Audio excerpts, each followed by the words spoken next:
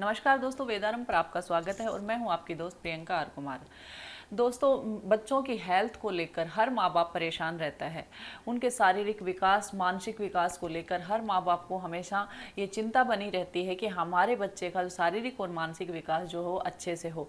दोस्तों, हम सब जानते हैं कि बच्चे की शारीरिक और मानसिक विकास के लिए प्रोटीन बहुत ज़्यादा अहम भूमिका निभाता है।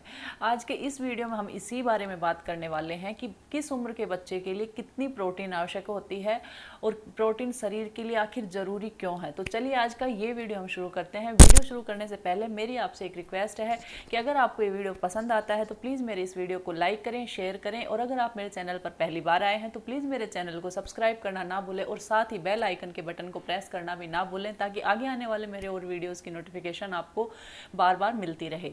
तो चलिए आज का ये वीडियो शुरू करते हैं। दोस्तों, सबसे पहले हम बात करते हैं कि प्रोटीन आखिर बच्चे के लिए आवश्यक क्यों होता है। तो प्रोटीन नई ब्लड सेल्स बनाने, टिश्यूज बनाने और नर्वस सिस्टम के सही ढंग से कार्य करने के लिए प्रोटीन बेहद आवश्यक होता है।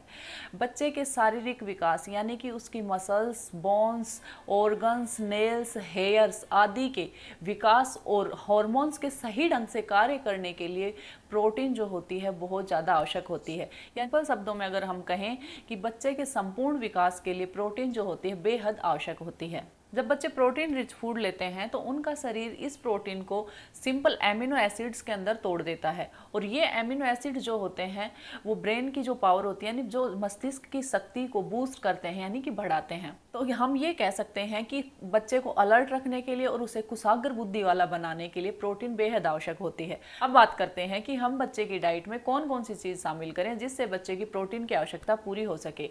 तो दोस्तों, प्रोटीन रिच फूड्स जो होते हैं, वो है dairy products, legumes, seeds, nuts, eggs, fish, और पोल्ट्री मीट आदि चीज़ें जो होती हैं, इनसे प्रोटीन सफिशिएंट मात्रा में मिलती है।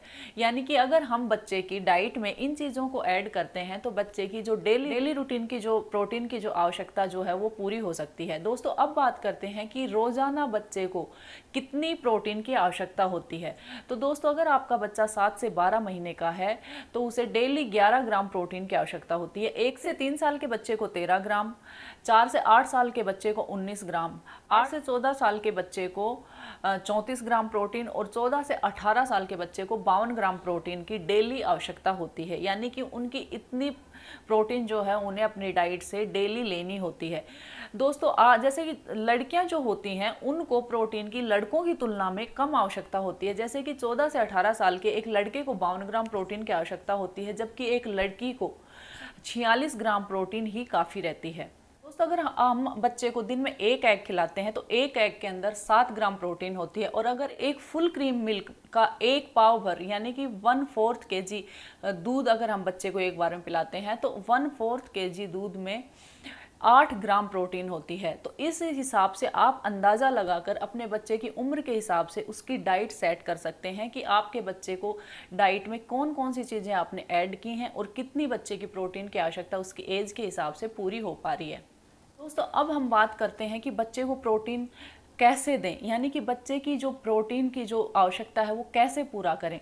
तो प्रोटीन की बच्चे की आवश्यकता पूरी करने के लिए हमें बच्चे को दिन में तीन बार फुल डाइट देनी चाहिए, यानी कि संतुलित भोजन देना चाहिए और प्लस में दो बार हमें स्नैक्स देना चाहिए। हर बार की जो डाइट है बच्चे की, जो आहार है, उसमें तीन से चार अलग अलग की फ़ूड कैटेगरीज ऐड करनी चाहिए, जैसे फ्रूट्स हैं, अनाज है, डेयरी प्रोडक्ट्स हैं, आदि हम ऐड करते हैं जब बच्चे की डाइट में तो अलग अलग चीज़ों से उसकी प्रोटीन की आवश्यकता पूरी हो जाती है।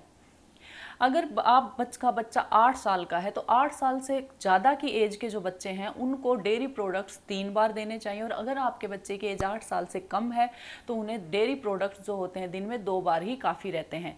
दोस्तों, कुछ पेरेंट्स क्या करते हैं कि प्रोटीन की आवश्यकता को पूरा करने के लिए बच्चों को प्रोटीन पाउडर देते हैं। जो मेरा ये मानना है कि बिल्कुल गलत है, क्योंकि प्रोटीन पाउडर जो होता है, वो बच्चे की किडनी और लीवर दोनों के लिए नुकसानदेह होता है, और साथ ही जो कैल्शियम का अवशोषण वितरण जो होता है, वो भी प्रोटीन पाउडर की वजह से प्रभावित होता है। तो इसलिए प्रोटीन पाउडर आप बच्चे की डाइट में ऐड ना करें, बल्कि जो रूटीन डेली डाइट जो है, जो संतुलित आहार जो है बच्चे का, उसके थ्रू ही बच्चे को नेचुरली जो है प्रोटीन लेने देना चाहिए। तो आपको ध्यान रखना चाहिए कि आवश्यकता से ज़्यादा जो प्रोटीन होती है, वो बच्चे का वेट ज़्यादा गेन करती है, यानी कि वेट गेन करने के लिए उत्तरदायी होती है। इसलिए आपको बच्चे को जितनी ज़रूरत है प्रोटीन की, आपको उतनी ही प्रोटीन बच्चे को देनी चाहिए। दोस्तों, उम्मीद करती हूँ आज का ये वीडियो आपके लिए काफ़ी हेल्पफुल रहेगा। अगर ये वीडियो आपको आया, पसंद आया है तो प्लीज़ लाइक शेयर और सब्सक्राइब करना ना भूलें। कमेंट करके मुझे ज़रूर बताएँ कि आपको ये वीडियो कैसा लगा है।